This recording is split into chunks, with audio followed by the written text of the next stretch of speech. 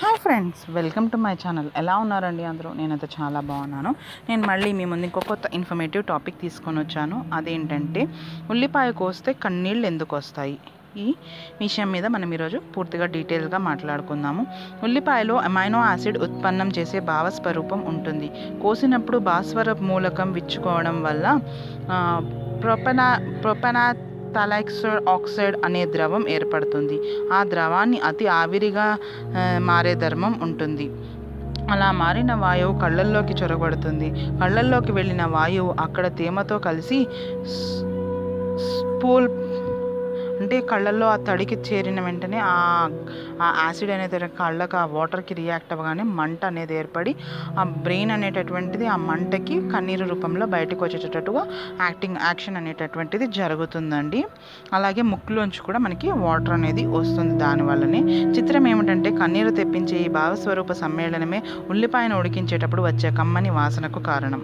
ఉల్లిపాయ కోసినప్పుడు కన్నీళ్ళు రాకుండా ఉండాలంటే తరిగే ముందు వాటిని నీటిలో కడిగి తడిగా తడిగా ఉంచాలి. అప్పుడు భాస్వర రూపం సమ్మేళనం ఆ తడితో కరిగిపోతుంది. సో ఇదండి మనకి ఆ యాసిడ్ అమైనో యాసిడ్స్ ఏవైతే ఉంటాయో అవి ఆ- గాలిలోకి వెళ్ళిపోయి ఆ కంటిలో తేమ చేరుకోగానే ఆ మంట అనేది స్టార్ట్ అవుతుంది. ఆ స్టార్ట్ అయినప్పుడు ఆ మంట మనకి కన్నీటి రూపంలో బయటకు వచ్చేస్తుంది. ఇంకొకటి ఇంకొక ఆన్సర్ కూడా ఉంది. అంటే ఇంకొకటి పాయింట్ కూడా ఉంది. సో నేను అది కూడా చెప్తాను. ఉల్లిపాయకు వస్తే కన్నీరేళ శాస్త్రీయంగా ఉల్లిపాయ పేరు అల్యూమ్ సీపా. సో మనకి ఈ సైంటిఫిక్ నేమ్ ఏంటంటే అల్యూమ్ సీపా అనేసి. మామూలుగా కంటికి కూడా చూడడానికి వీలైన పెద్ద జీవకణాలు ఉల్లిపాయ పొరల్లో ఉంటాయి. కోసినప్పుడు కన్నీళ్ళు తెప్పించే పదార్థాలు కంటిలోకి వాయు రూపంలో చేరితే కన్నీళ్ళు కరిగించే రసాయనాలు నేత్ర బాస్పద రూక రకాలు లాక్రమేటరీ ఏజెంట్స్ అంటారు. ఉల్లిపాయ కణాల్లో గంధక ఆలిన్ ఒకటి అలాగే అలిసిన్ అలినిస్ అనే ఎంజైమ్ కూడా ఉంటుంది. ఉల్లిపాయ కోసేటప్పుడు అందులో కణాలు తెగిపోవడం వల్ల ఇవి బయట బయటపడి గాలిలో ఆక్సిజన్ సమక్షంలో చేరి జరిగే చర్య జరిగే మధ్య సెలిఫిక్ ఆమ్లాలు ఏర్పడతాయి. వెంటనే అవి ఉల్లి ఉల్లిలోని మరో ఎంజైమ్ వల్ల ఎసాక్సిస్ అనే వాయు రూపం పదార్థంగా మారుతుంది. ఇది గాలిలో వ్యాపించి కంటిని చేరితే కంటిలో ఉన్న నాడిన కాడి నాడితంత్రులు స- స్పందించి మ- మంట పుట్టగానే భావన క- మంట పుట్టే భావన కలుగుతుంది. వెంటనే ఆ మంటకు మెదడు కన్నీటి గ్రంథాలని లాక్రినేటరీ గ్రాండ్స్ ప్రేరేపించి కన్నీరు వస్తుంది. సో ఇదండి మనకి ఉల్లిపాయ అసలు పేరు alum సిపా.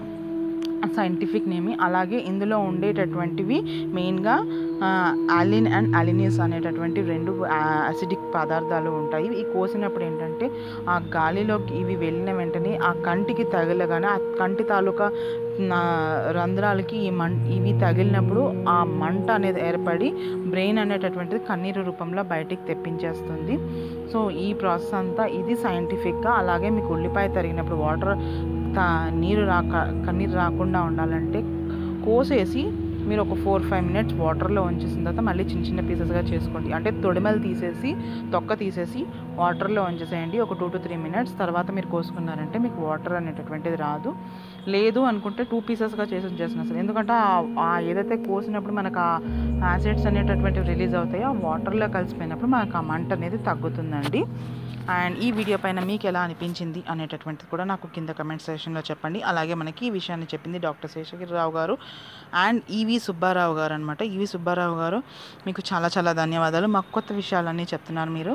And uh, me informative వీడియోస్ని నేను నా ఫ్రెండ్స్ అండ్ ఫ్యామిలీకి కూడా షేర్ చేసుకుంటున్నాను. Thank you so much and మీకు ఈ వీడియో నచ్చితే ఒక లైక్ ఇవ్వడం అస్సలు మర్చిపోదు. అండ్ ఇంకా మీరు నా ఛానల్ సబ్స్క్రైబ్ చేసుకుని వాళ్ళైతే తప్పకుండా సబ్స్క్రైబ్ చేసుకోండి. పక్కనే ఉండే బెల్ ఐకాన్ క్లిక్ చేశానంటే నేను ఎప్పుడు వీడియోస్ చేసినా మీ వరకు నోటిఫికేషన్ రూపంలో వస్తుంది.